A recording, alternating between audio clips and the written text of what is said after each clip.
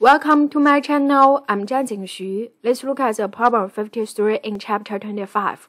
Chapter 25 is about electrical currents and resistance.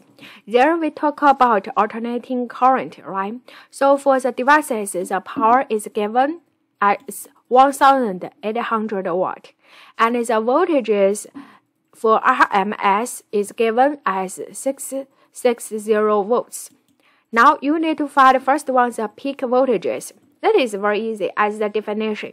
The peak voltage is a, a constant square 2 times V RMS. Mm -hmm. Input the quantity about the V RMS, you get answer there.